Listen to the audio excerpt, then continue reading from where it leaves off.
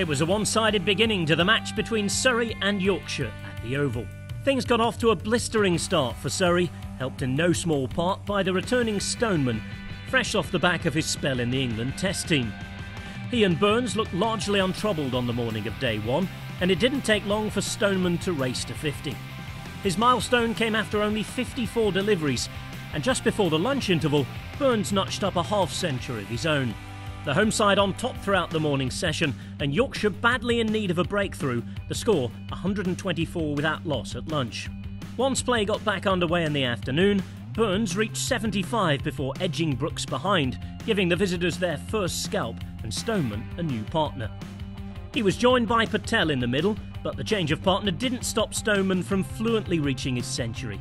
125 balls is all it took. Patel too began to contribute, with Surrey looking untroubled as they reached 200 and picked up their first batting point.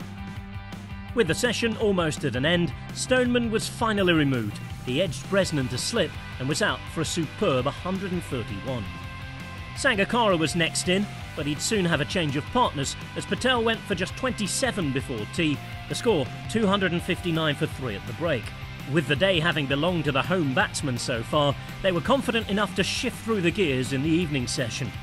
Sangakkara was back from the Caribbean and back to his menacing best with the bat. He raced to 50. With Foakes providing a strong support role, Surrey continued to compound Yorkshire's misery, adding more batting points with the score well past 300 at this point. And that's the way it would continue until the close of play.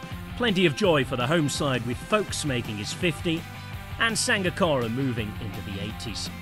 Nothing for Yorkshire to shout about. 398 for 3 the score at the end of the opening day's play, and Surrey will resume on Wednesday looking to bat the visitors out of the game.